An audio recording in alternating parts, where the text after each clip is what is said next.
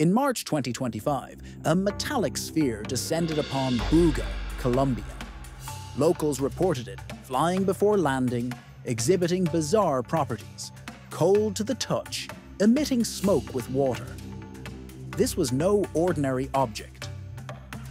Scientists found three external layers, encasing 18 symmetrical microspheres around a central chip. X-rays revealed no welds, defying known manufacturing. Some speculate it's an alien probe, manipulating gravity. Physicist Julia Mossbridge suggests an elaborate art piece, challenging extraterrestrial claims.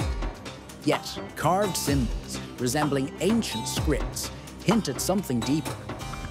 AI analysis even deciphered a message advocating human consciousness. Its origin remains a profound mystery, is it a relic from another world, a sophisticated human creation, or something else entirely? The Buga sphere continues to defy explanation, demanding further analysis